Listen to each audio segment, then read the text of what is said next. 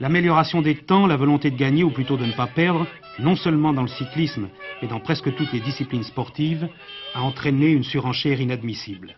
La preuve, la voici. Le chemin de croix du malheureux Simpson.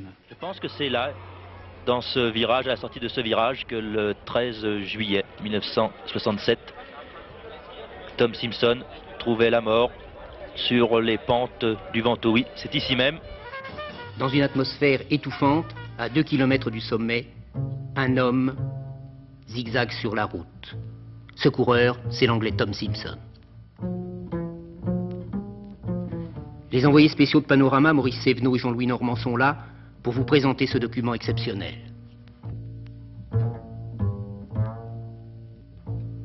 Respiration artificielle, masque à oxygène, les techniques de réanimation sont impuissantes. Simpson est toujours dans un état comateux, état qui nécessite une rapide évacuation sur le centre hospitalier d'Avignon. À 17h40, les médecins constataient le décès de Tom Simpson et refusaient le permis d'inhumer.